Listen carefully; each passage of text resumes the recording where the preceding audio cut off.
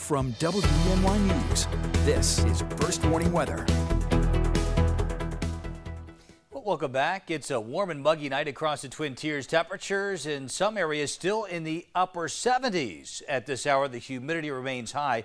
Now, earlier today, we had a high temperature at the Elmira Corning Regional Airport of 88 degrees, above average by nearly 10 degrees. Normal high this time of year 79. We started the day off at 57. But check this out. In Elmira right now, it's 78 degrees, 75 in Corning, 77 in Tioga and in Mansfield.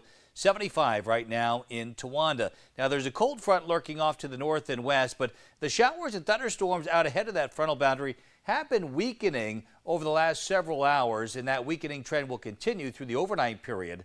Uh, we're still expecting a couple spotty showers to pass through our region, maybe a few rumbles of thunder, but again, we're not too concerned with a, a severe weather threat moving forward through the overnight period. A couple stronger storms drop south out of uh, southern Potter County heading down towards the Williamsport area, bypassing us to the south. And again, as we look to the west, just a couple spotty showers, and that's about it. So some areas will stay dry altogether through the course of the overnight period, but we can't rule out a, a slight chance for a shower or thunderstorm. Our future track showing as we get closer to daybreak.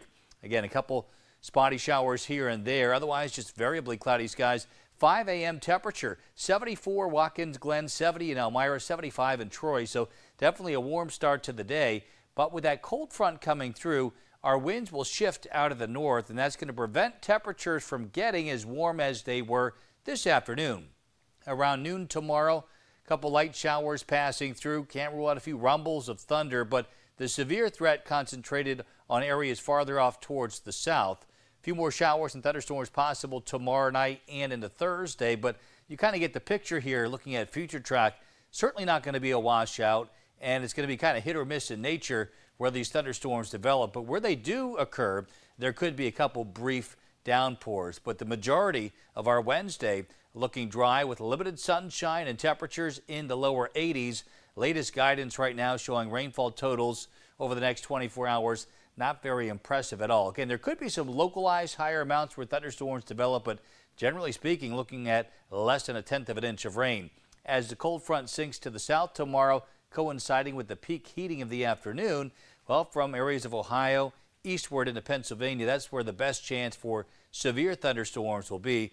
Closer to home, again, a much uh, less of a chance for any strong thunderstorms. And then as we head uh, towards the upcoming weekend, looks like another front will move in from the west, and that could give us a couple more showers and thunderstorms on Saturday.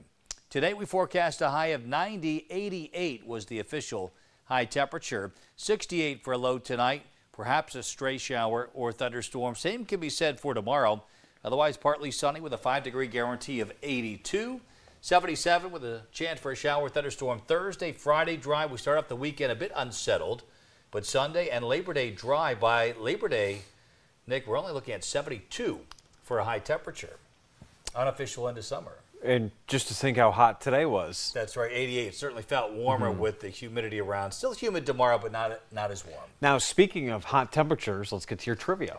Yeah, we're talking about the hottest temperature ever recorded on the planet. What country did that occur in? So I want to say Egypt. However, I know that's probably not Egypt. It's probably United States.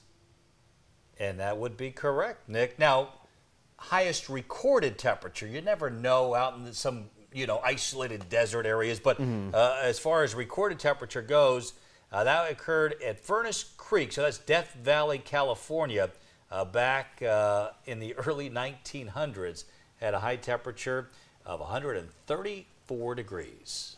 Wow, that's hot stuff. All right, thanks, Joe. All right, well,